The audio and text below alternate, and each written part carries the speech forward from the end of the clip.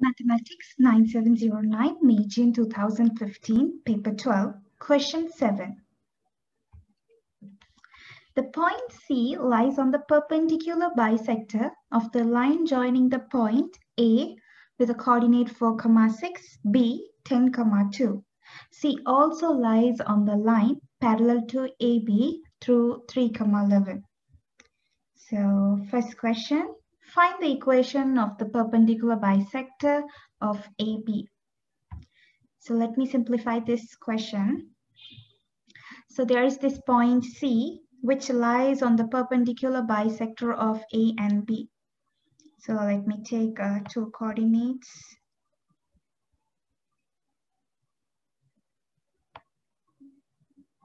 For example, let this be A, this be B, this point.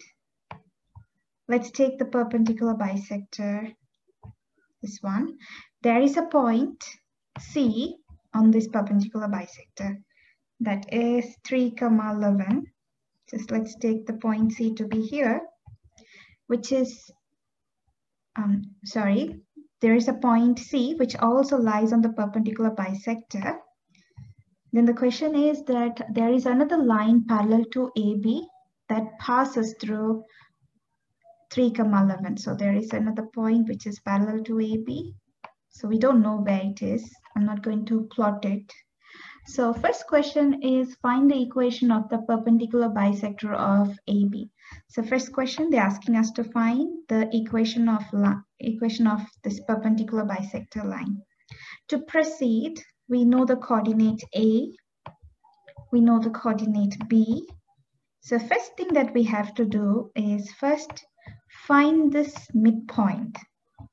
So first thing that we have to do is find the midpoint of A and B. Then you need to find the gradient of A and B. After that, find the normal, that is gradient of the normal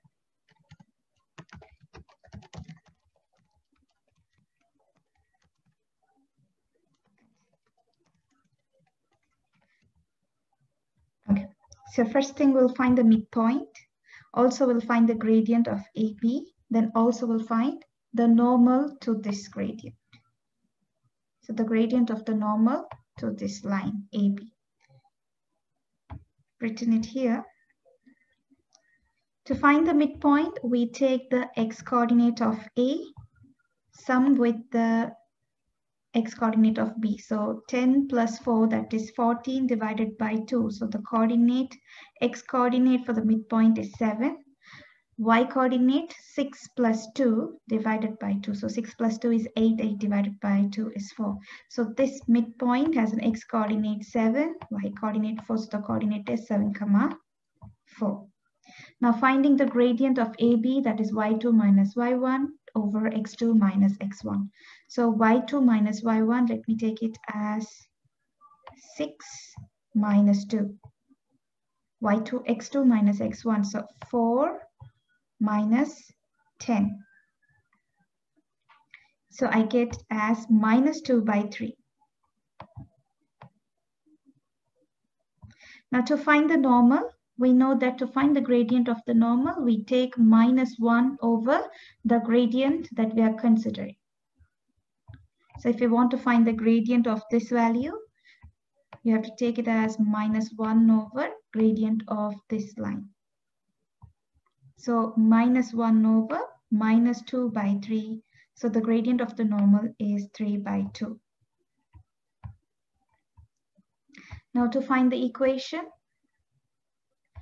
we have y minus y1 is equal to m, which is the gradient x minus x1. Since we are finding the perpendicular bisector, perpendicular bisector will be at the midpoint and the gradient will be normal to this gradient. So y minus this y1 is going to be the y coordinate of the midpoint. So y minus 4. The gradient is going to be the gradient of the normal, that is 3 by 2 x minus x1 is going to be the x coordinate of midpoint. Now all we have to do is simplify. So 3 by 2 into x is 3x by 2. 3 by 2 minus 7 is minus 21 by 2. Since 2 is common, I can take it to the other side. It becomes 2y minus 8 is equal to 3x minus 12. So leaving 2y as the subject, take minus 8 to the other side. So 3x minus 21 plus 8, I get minus 13. I call this as my equation 1. This is my equation of the perpendicular bisector of AB. The next point, uh, the next part of the question says calculate the coordinate C. Now that we know that there is a line which is parallel to AB passing through this line and you know perpendicular bisector also passes through C. So what we have to do, first we have to find the equation of the parallel line. If an equation, if a, if a line is parallel to the line AB, then the gradient of that parallel line will be the same gradient of AB, which is minus 2 by 3. We can have, we already have a coordinate that passes through the parallel line, which is 3 comma 11. Using this information, let's find the equation of the parallel line. So here it is. We know that our, our, our line, the parallel line passes through 3 comma 11 we know the gradient is the same gradient of the line AB. So y minus the x, y-axis is 11, gradient is minus 2 by 3, x minus x coordinate is 3. All we have to do is simplify. So 3 goes this side. 3y minus 33 is equal to minus 2 into x minus 2x. Minus 2 into minus 3 is plus 6. I'll make 3y as the subject. So we get this equation too. Now we know that the point C lies on this line as well as the point C lies on the equation 1 as well. So when we solve this equation, the value that we get for x and y is going to be the coordinate of C.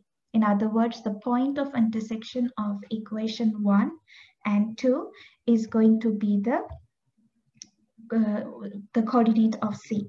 The first equation, we, ha we had 2y is equal to 3x minus 13. So I've made y as my subject, so I get this way. I'm solving it by substitution. I have taken this y, equation 1, and substituted here. So I got 3 into 3x minus 13 by 2 is equal to minus 2x plus 39. By simplifying, I get a value for x. So making x as the subject, I get 13x is equal to 117 uh, in which x is equal to 9. This is the x coordinate of C now it's easy for us to find y. We can substitute x is equal to 9 in place of equation 1 or equation 2. I'm substituting in equation 1. My equation 1 is 3y is equal to minus 2x plus 39. Sorry, this is my equation 2. So I substitute in place of x as 9. So 3y is equal to minus 2 into 19 plus 39 gives me 21. So y is equal to 21 divided by 3, I get y is equal to 7. So the coordinate of C is 9, comma 7. So this is my final answer. I hope you understood. If you like this video, please subscribe to my channel and press the bell button to get notified with new videos.